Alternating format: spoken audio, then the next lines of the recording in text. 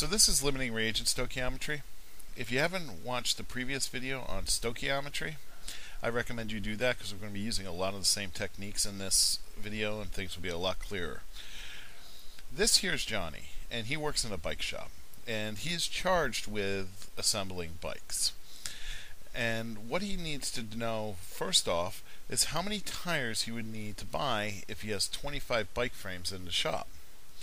Well, the reaction for building bikes is two tires plus one bike frame equals one bike. The ratio is 2 to 1 for tires to bike frames. So if he has 25 bike frames, he's going to need 50 tires to build 25 bikes. It's a 2 to 1 to 2 ratio. This is what stoichiometry is all about. We are able to calculate how many tires, which is a reactant, Johnny needs because we know the ratio of the tires to bike frames. And that's really what stoichiometry comes down to mole ratios and chemical reactions. So instead of buying tires, let's assume that the shop already has tires in it. So we're going to assume that he already has bike frames and tires in the shop. When doing inventory, he finds that there are 250 tires and 100 bike frames. How many bikes can Johnny build? Now, you might already know the answer, but stay with me here.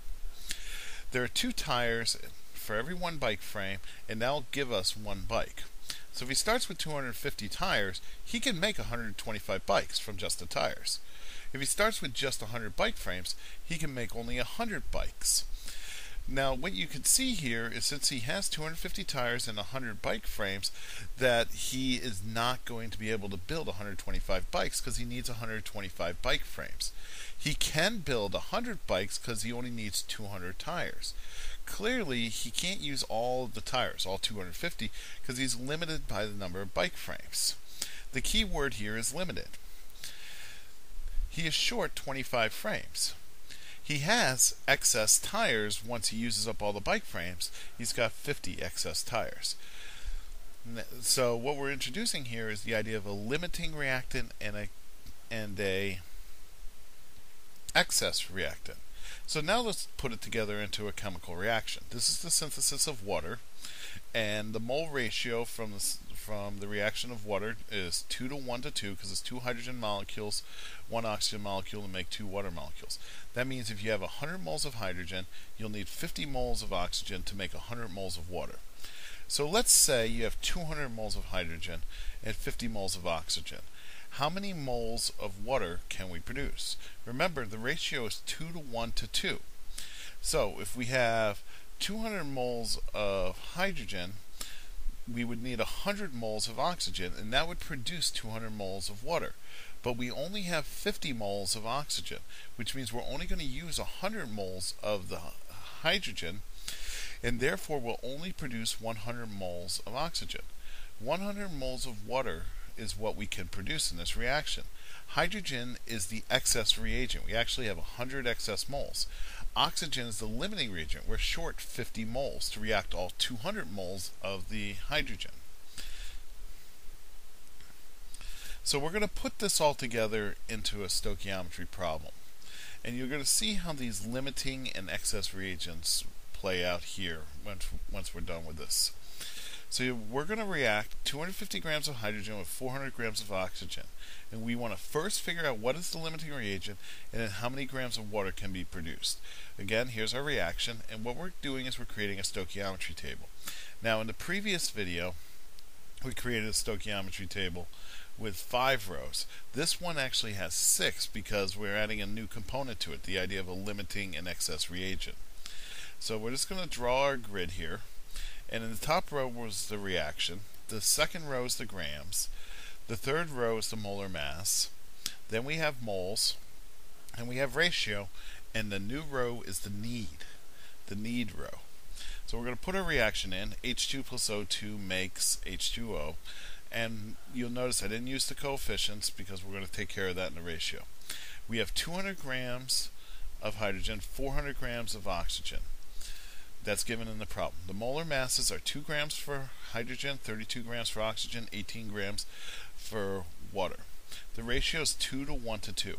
And remember, the way we use these stoichiometry tables is we divide going down, we multiply going up. So 200 divided by 2 will give us 100 moles. So we have 100 moles of water. Now, the ratio is 2 to 1, so we're going to need 50 moles. But when we divide 400 by 32, we only have 12.5.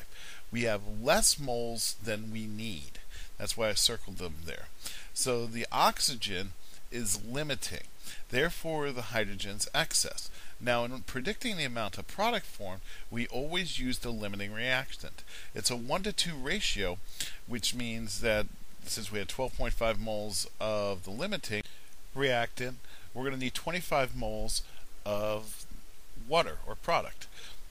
Multiplying going up times 18 gives us 450 grams of water. So 450 grams of water is produced. Now what you should notice here is mass is not conserved like in the previous ones. This is because not all of the hydrogen reacted. In fact, only 100 uh, sorry, only 50 grams of the hydrogen reacted. There's 150 grams excess here. Uh, you can calculate this by subtracting the mass of the product water, 450 grams, from the total mass of the reactants, which is 200 plus 400 grams, or 600 grams. 600 minus 450 gives us 150 grams of excess material. Or another way to look at it is 75 moles of excess hydrogen never made it over to the product side. Therefore, the mass is not the same on both the products and the reactant side. Now, this is the real difference between a limiting reagent stoichiometry problem and a regular stoichiometry problem. In the regular stoichiometry problem, the mass is always conserved. The mass of the products equals the mass of the reactants, and vice versa. In a limiting reagent stoichiometry, one of the components is excess. It doesn't all get used up. And the key thing when doing a limiting reagent stoichiometry problem is to figure out what the excess and what the limiting reactant is, because it's the limiting reactant that will determine the amount of product produced in the chemical reaction.